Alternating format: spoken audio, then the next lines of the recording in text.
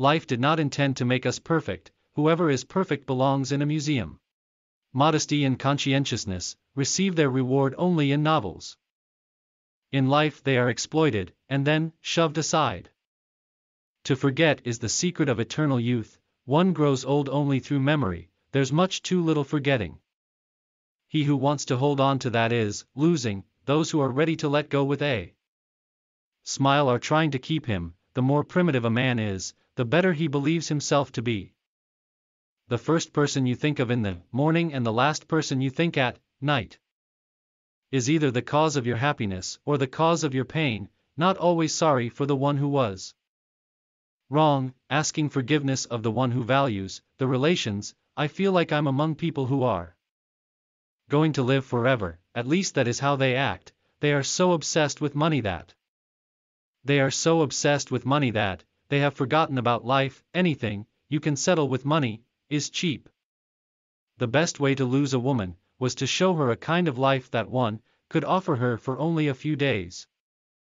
You may turn into an archangel, a fool, or a criminal, no one will see it, but when a button is missing, everyone sees that music, never do anything complicated when something simple will serve as well, it's one of the most important secrets of living, a man only begins to be valued when he is no longer there. It is better to die when I want to live, than to live before you want to die than what you have, this includes the romance and idiocy of, what you can't get always seems better. Human life If a woman belongs to another man, she is five times more desirable than the one you can easily get. Strange how complicated we can make things just to avoid showing what we, what you can't get always seems better. Feel whatever happens to you. Never take it personally, nothing in this world is so important. I stood next to her. Laughed and thought how terrible it is to love a woman and be poor, only when you finally part with a person, you begin to be truly interested in everything that concerns him. This is one of the paradoxes of love, it is a mistake to assume that all people have the same ability to feel.